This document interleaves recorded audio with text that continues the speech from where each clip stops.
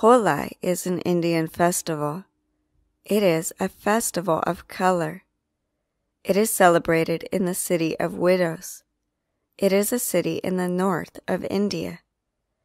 There are many widows in the city. The city is their new home. The widows dance at the festival. There are some tourists too. An Indian man starts the festival in 2013. He makes the lives of the widows better. They do not feel like widows anymore.